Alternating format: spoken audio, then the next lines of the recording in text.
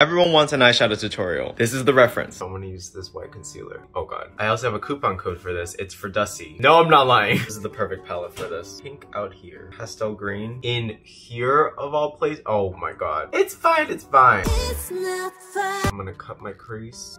Nice. Not as as I want it. Oh, there it is. This is the secret. I'm gonna go over the crease with the night glitter. Oh my. Ooh, bam. I'm gonna throw you out. It's way easier to go back and forth to keep it even. This is a heated curler. Waterproof mascara always. Individual lashes, Manhua style, by my face. Whoever matched me at Fenty deserves a raise. I didn't even tell you my shade. Concealer. I'm like doing in TikTok. I don't want to be pale. Brows. Hers are a little green.